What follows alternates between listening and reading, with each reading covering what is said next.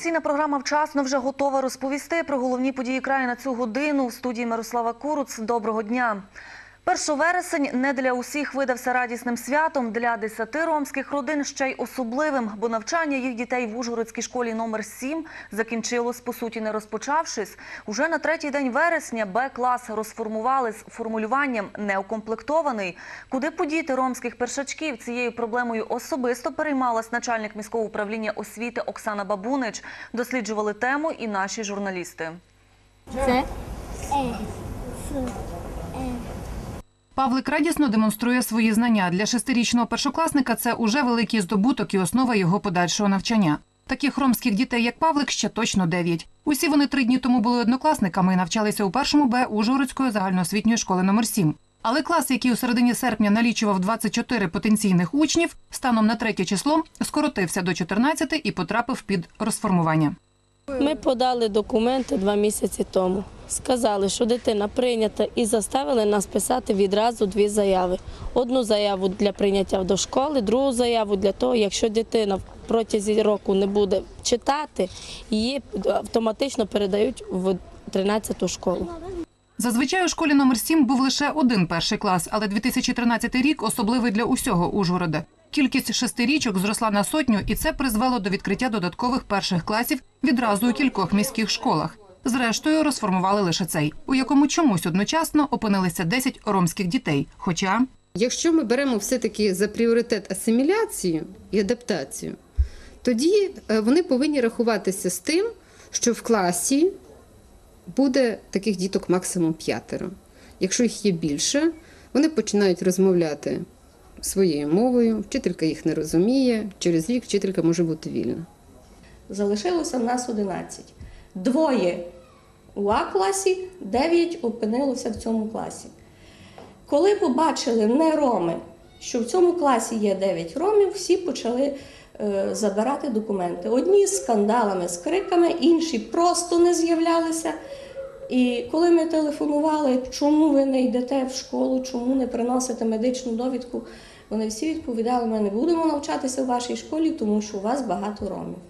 Загострення ситуації можна було уникнути, переконує ромський правозахисник Мирослав Горват. Про те, що цього року серед першачків зросте і кількість дітей ромської народності, знали давно. А от чому вчасно не відреагували і не запропонували батькам інші найближчі школи велике питання. Директори шкіл іноді, знаєте, ми спостерігаємо, що дійсно відчувається оця дискримінація. Ну, ну, батьки говорять, що розмова з ними достатньо важка. Вони їм говорять прямо в очі, що ми циганських дітей в школу не будемо брати, тому що наша школа превратится е, в сегреговану школу, в циганську. І ми цього не хочемо. Павлик уже нікого ізі своїх друзів не зможе назвати однокласником, адже більшість батьків таки досягли компромісу у кабінеті начальника управління освіти, і уже з понеділка їх діти підуть до різних навчальних закладів. А наступного року ситуація загостриться ще більше, адже до школи уже почали збирати портфелі 40 маленьких ромів. І шукати їм місця у класах та українському суспільстві варто починати уже сьогодні. Міліціонери пройшлися історичним центром Ужгорода. Утім, вони не патрулювали, просто вийшли на екскурсію. Таким чином патрульних вчать розповідати туристам про цікавинки міста, адже до правоохоронців дедалі частіше звертаються перехожі з питаннями про туристичні родзинки Ужгорода. Що нового дізналися міліціонери на відкритій екскурсії, знає Марія Рибченко. Площа Театральна, Кафедральний собор, Ужгородський замок, вулиця Корзо, Набережна Незалежності. Таким маршрутом пройшлися міліціонери під час відкритої екскурсії обласним центром. У заході взяли участь майже півсотні правоохоронців. На ознайомчу екскурсію містом запросили працівників патрульно-постової служби, дільничних інспекторів та солдатів внутрішніх військ. Усі вони відкрили для себе щось нове про Ужгород. Ну, найцікавіше це в першу чергу те, що під майже всім містом Ужгорода, ну саме центром, знаходяться він, винні погреби. Я, Ну, перший раз про це почув. І про що Федір Федорович розказував про ловне місце, яке знаходиться біля 16 етажка. Ну, це теж для мене було, ну я буду знати на майбутнє, що і те, що він розказував про е, надгробні плити, які знаходяться біля універмагу Україна. Теорія на екскурсіях екзамен у туристів, що приїжджають на Закарпаття.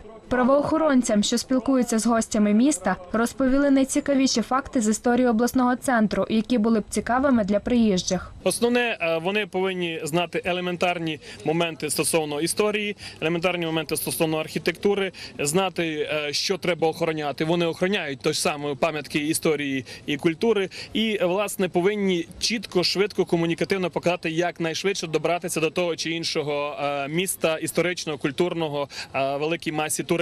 Патрульна безпосередньо в центрі міста несе службу як днем, так і ночі. Е, Буває, що туристи та не буває, доволі часто підходять і питають, запитують. І підлегли часто і навіть самі просили, щоб в службовій підготовці, як кажуть, е, ввели такі історичні трошечки моменти е, про історію міста Ужгорода і області загалом. Подібні екскурсії частина навчальної програми для правоохоронців. З 1 вересня на лекціях та практичних заняттях міліціонерів ознайомлюють з історією рідного краю. Таке навчання постових та дільничних відбувається в Україні вперше. Теоретичні заняття та виїзди до історичних пам'яток проходять по всьому Закарпаттю.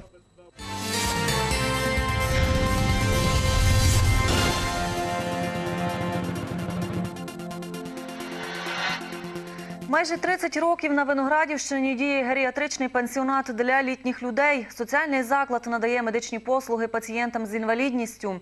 У пенсіонаті знайшли затишок та тепло більше 200 людей похилого віку. Стареньких тут прийнято називати підопічними або ж пацієнтами. А заклад себе позиціонує не як будинок-інтернат для перестарілих, а оселя для безтурботної старості. Непередбачувані життєві обставини змусили цих людей опинитися в геріатричному пансіонаті, що на Виноградівщині. Хтось потрапив сюди із власної волі, більшість через неспроможність прожити старість на самоті. Серед останніх Ірина Григорівна через відсутність власного житла вже 15 років жінка мешкає в соціальному центрі. Э, Я жила в Луганской области. Так пришлось, что у меня там погорел дом. А у меня тут сын в Виноградове э, офицером служил. И мне пришлось переезжать с места на место. У сына жить негде было. А меня тут, пожалуйста, комнатку выделили. Все, постелька чистая. Погіршення здоров'я та відсутність родини привело пані Марту у соціальний заклад. Умови проживання жінку влаштовують, а спілкування з сусідами допомагає жити далі. Непогано живемо, по одно, по двоє. Непогано. Телевізор дивимося. Не любиться тут ванна. І в мене не було вдома удобства, щоб помитися там у теплій воді. Там. А тут усе, що хочеш, тут все є. Зараз у соціальному закладі проживає 211 підопічних. Серед них не лише літні люди, в яких проблеми зі здоров'ям, а й молодь з інвалідністю. Таких пацієнтів у закладі більше десяти. З діагнозом перелом хребта Андрій лежить вже шостий рік. Не маючи рідних та близьких, підтримку та допомогу хлопець знайшов у соціальному центрі. Я робив у Лютіжі за Києвом, Вишгородський район. Ну і не ринув так неудачно. Зламав п'ятий шийний позвонок. А, Дома сам, в мене нікого нема так. Лише друзі є. Ну так попав сюди. Кожен пацієнт геріатричного закладу потребує індивідуального догляду. Пані Тетяна 27 років працює тут медсестрою. Більшість свого часу жінка проводить у соціальному центрі. Чи не тому пансіонат став для неї другою домівкою, а його відвідувачі рідними. Аби пацієнти швидше призвичаїлися до нових умов, медперсонал повинен посприяти цьому, каже пані Тетяна. Якщо вдома їхня обстановка добре, то і до нас вони відносяться добре. Якщо з ними вдома поводяться погано, треба до них підход знайти. Є такі поодинокі випадки, що люди дуже їм важко привикати. Буває так, що ну, ну важко. Як вам казати, важко, бо то сім'я є сім'я. І вдома є вдома. На харчування та проживання пацієнти щомісяця виплачують 75% зі своєї пенсії. Ці кошти йдуть на потреби закладу. Це люди всі, які проживають безкоштовно на держав- на державному ті 75% з основної пенсії, 25 на руки і 75% нам. Купити лінолеум, радіо. Тепер якраз е, сижу і пишу на ім'я начальника е, листа, що дозволити 75% надходження коштів засмолити дах, який протікає над клубом.